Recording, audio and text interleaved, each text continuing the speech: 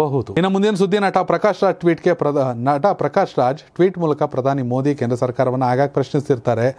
Just asking ಎಂಬ hashtag ಮೂಲಕ ಹಲವಾರು ಪ್ರಶ್ನೆಗಳನ್ನು ಕೇಳ್ತಿರ್ತಾರೆ.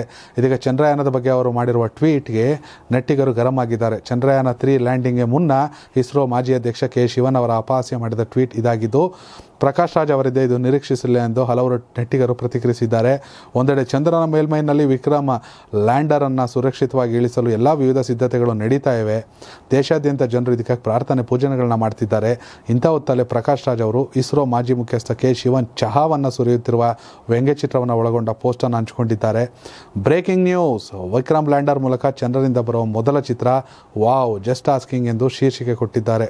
ಪ್ರಕಾಶ್ ರಾಜ್ ಅವರ ವ್ಯಂಗ್ಯಕ್ಕೆ ಕಾರವಾಗಿ ಪ್ರತಿಕ್ರಿಯಿಸಿರುವ ನೆಟ್ಟಿಗರೊಬ್ಬರು ನಿಮ್ಮ ದೇಶ ಮತ್ತು ನಿಮ್ಮ ಸ್ವಂತ ಜನರ ಪ್ರಗತಿ ಸಾಧನೆಗಳು ಮತ್ತು ಪ್ರಯತ್ನಗಳನ್ನು ನೀವು ದ್ವೇಷಿಸಲು ಪ್ರಾರಂಭಿಸುವುದು ಪ್ರಾರಂಭಿಸುವಷ್ಟು ದ್ವೇಷವು ನಿಮ್ಮನ್ನು ಆವರಿಸದಿರಲು ಬಿಡಬೇಡಿ. ಇದು ಕೇವಲ ಜೀವನವನ್ನು ವ್ಯರ್ಥ ಮಾಡುತ್ತದೆ ಎಂದಿದ್ದಾರೆ. ಇಸ್ರೋ ಭಾರತದ ಅತ್ಯುತ್ತಮವನ್ನು ಪ್ರತಿನಿಧಿಸುತ್ತದೆ. ಇದು ಅತ್ಯಲ್ಪ ಸಂಪನ್ಮೂಲಗಳನ್ನು ಮತ್ತು ನಿರಾಶಾವಾದಿ ವಾತಾವರಣದ ನಡುವೆಯೂ ಶ್ರೇಷ್ಠತೆಯನ್ನು ಸಾಧಿಸಿದೆ.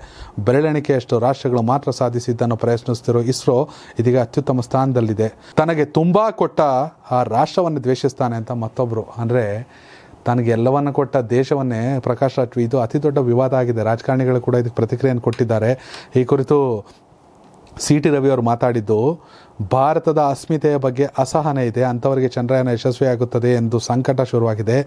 ಜಾಗತಿಕ ಮಟ್ಟದಲ್ಲಿ ಪ್ರಧಾನಿ ನರೇಂದ್ರ ಮೋದಿ ನಾಯಕತ್ವ ಯಶಸ್ವಿಯಾದರೆ ಇವರಿಗೆ ಸಂಕಟ. ಕೆಲವರಿಗೆ ಹಿಂದುಗಡೆ ಮೆಣಸಿನಕಾಯಿ ಇಟ್ಕೊಂಡಂತೆ ರೀತಿ ಆಗುತ್ತೆ ಅಂತ ತಿರುಗೇಟನ್ನು ಕೊಟ್ಟಿದ್ದಾರೆ. ಬಟ್ ಪ್ರಕಾಶ್ ರೈ ಅವರ ಈ ಟ್ವೀಟ್ ಸಾಕಷ್ಟು ಚರ್ಚೆ ಗ್ರಾಸವಾಗಿದೆ.